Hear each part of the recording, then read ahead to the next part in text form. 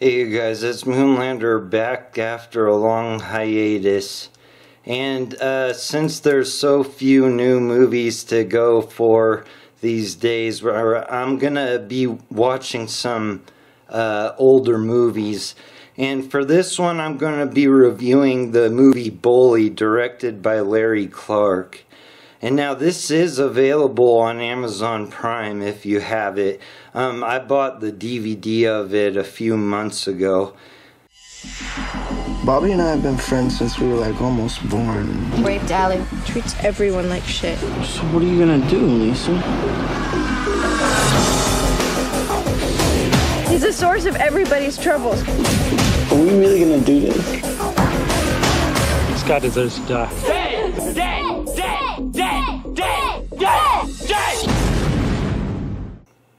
And I haven't seen this movie in probably like 10 years. And I remember it very fondly. Uh, and I wanted to see if I still enjoyed it as much as I had remembered enjoying it. And now this is a Larry Clark movie, uh, and if you're not familiar with the name, he did Kids. And if you're not familiar with Kids, uh, do yourself a favor and watch it, as well as Bully.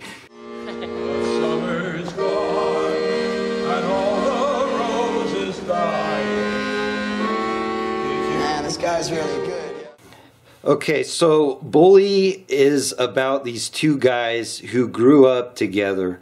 Uh, and while they may not think they are friends, uh, the one named Bobby, played by Nick Stahl, uh, bullies, manipulates, uses, abuses, and pimps out his friend Marty, played by Brad Renfro. Uh, now, the character played by Nick Stahl goes as far as to raping Marty's girlfriend, uh, and he also rapes her other friend as well. And it's not long after uh, this that they get some of their buddies together and they develop a plan to kill this bully, uh, Nick Stahl.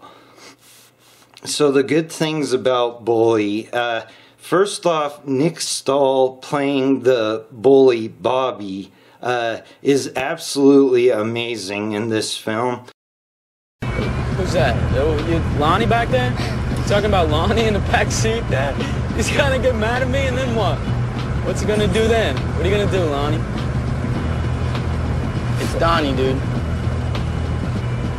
It's definitely Donnie. Yeah, whatever. You know your girlfriend's a hooker? Uh, his character is so bizarre and evil while still maintaining a believable performance. Uh, you never know what this guy is going to do or say next, but you're sure it's going to be awful and somehow comes across as wonderful. now, the rest of the cast of Bully does extremely well. And there is a short interview with Larry Clark on the DVD. And uh, it, unfortunately, it only is really about his thoughts of the cast, but at least you get to see that much. And he did nothing but praise each cast member and give a brief description of where he found them and uh, you have to give it to him. He casted this movie really well. And now, as with kids, Bully sucks you in. For me, it was an unfamiliar world. Uh, that's not my teen years. And it's totally believable. And it, it, to me, his movies feel as real as you can get and you do not get this type of reality out of most movies. And it, it's really a remarkable film viewing experience. And I, I highly suggest uh, at least bullying kids. Now, the only bad things I'm going to say about Bully is there is strong sexual content in this movie. Um, both hetero and homosexual. Um, I mean, it's not like graphic hardcore porn, but uh, I mean, it's on the verge of it.